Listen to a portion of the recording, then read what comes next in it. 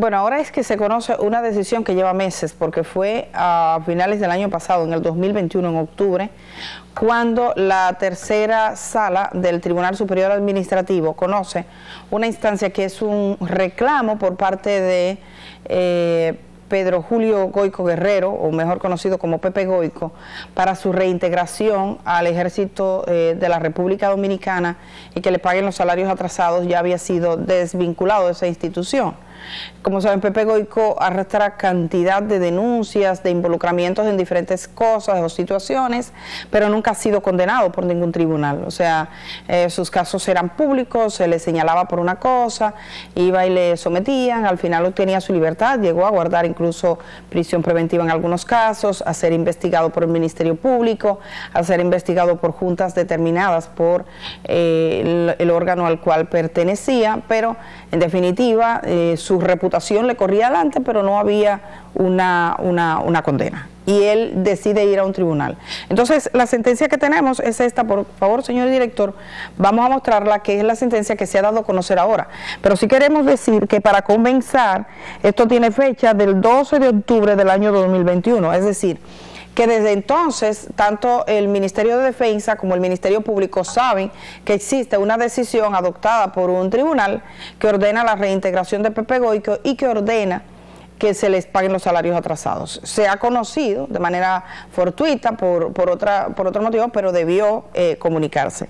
¿Qué es importante aquí? Ver las posiciones de cada uno. Regresemos, señor director, a esa primera página porque inmediatamente usted tiene que, bueno, es la tercera sala del tribunal y esto es una acción constitucional de amparo interpuesto por el señor Pedro Julio Goico Guerrero y ahí están todos sus datos y dice contra el Ministerio de Defensa de la República y su ministro Carlos Luciano Díaz Morfa y eh, Comparece además el licenciado Moisés Cordones, Procurador General Administrativo Adjunto, actuando en representación de la Administración Pública, o sea, del Ministerio Público, lo que es lo mismo, Procuraduría General Administrativa. Entonces aquí tenemos, vamos bajando, dice el señor Pedro Julio Goico Guerrero, en las pretensiones de las partes, en audiencia del 12-10, concluyó de la manera siguiente.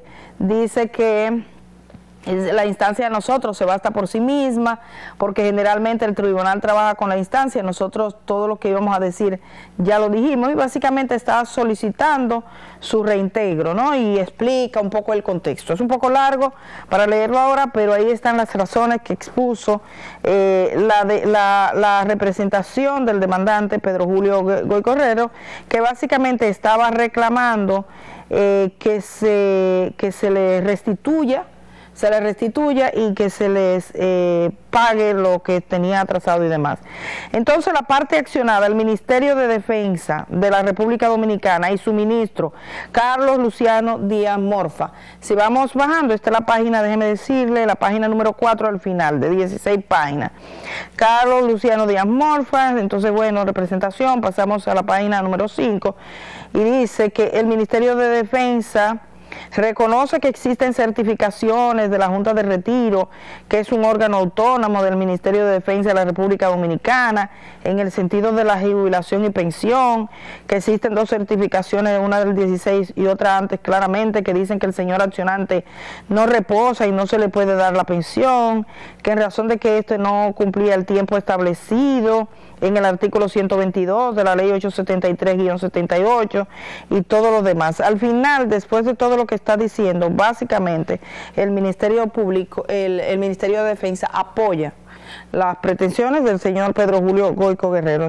básicamente es lo que está diciendo, en parte, que le está apoyando. Vamos a ver, ministro de Defensa de República, con respecto a estas acciones, en virtud de que el Ministerio de Defensa de la República Dominicana apenas tiene un año más, no sé, primero, que se acoja en parte la acción de amparo interpuesta por el accionante respecto a su derecho y que el tribunal más bien si entiende en la consideración total o la tutela diferenciada a su cargo, porque para nosotros es legítimo y es verdad que no existe condición jurídica en cuanto a ese señor en la ejecución del decreto, porque la misma resolución establece y dice de la Junta de Retiro que él no está y que no se le dio cumplimiento porque no llevaba el tiempo adecuado.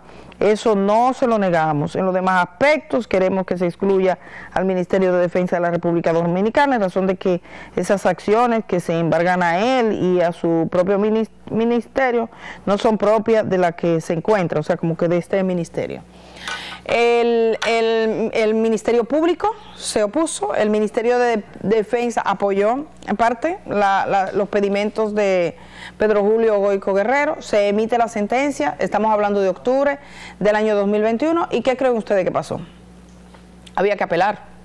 No se apeló, eso ya no, eso no es, no se apeló, o sea, el Ministerio de Defensa no apeló. Por lo tanto, eso ya tiene régimen juzgado creo que Pepe Goico compartía parte de la sentencia, aquí está completa, diciendo que, que como que lamenta a los que les molesto les duela, pero aquí básicamente, al margen de Pepe Goico, es ver cómo actuó el Ministerio de Defensa, cuál fue la actuación que tuvo el Ministerio de Defensa. Yo me imagino, por lógica, por por una cosa de juicio, que alguien cuando, cuando te toca algo que tiene que ver con Pepe Goico, eso se le comunica al presidente de la República. Digo yo, no sé. Uno pensaría que una acción de esta naturaleza, si el Ministerio de Defensa va a postular a favor de algo de esta naturaleza que desdice de lo que un presidente había decidido mediante un decreto, tendría que decirle, mire, señor presidente, ha incoado esta acción ante un tribunal de la República, obviamente estamos en un cambio de gobierno, ¿qué piensa usted?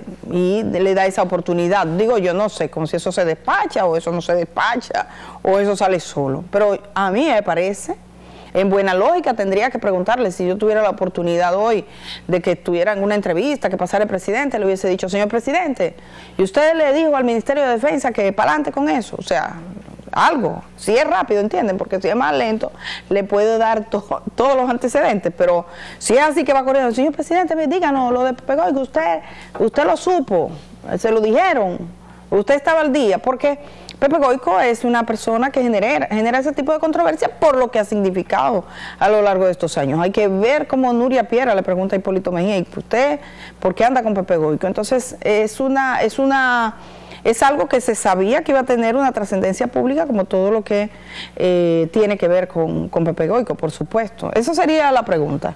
Y por supuesto, ¿por qué no apelaron? O sea, una vez el Ministerio de Defensa supo eh, sería bueno saber si ellos dijeron, bueno, pues eh, nosotros compartimos parte, pero después vino un todo, el reintegro y demás. O sea, ¿qué es lo que falta? El Ministerio de Defensa no se opuso, no apeló. ¿Por qué no se apeló? Esa es la otra pregunta. Según lo que yo tengo entendido, quizás no sé, pero según lo que tengo entendido, esto no fue apelado. Esto ya es un, es un hecho y es de, es de debido cumplimiento. A ver cómo lo hacen, pero pero eso fue así. Y ahí ustedes tienen la posición que a nadie le tomó por sorpresa.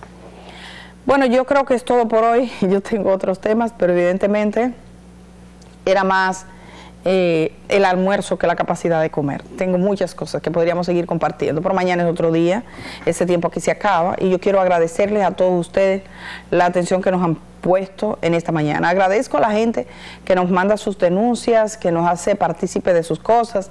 Esta mañana en el programa El Día presentaba una denuncia, son unas imágenes de una mujer que al parecer fue raptada, o sea, fue subida a la fuerza en un vehículo en la avenida Mella, casi esquina Charles, ahí frente a donde está eh, Jumbo, esa tienda, y eh, la menciono no porque tenga nada que ver, vuelvo y repito, sino porque ubica a las autoridades y ese video para mí es un poco... Em, digamos que preocupante.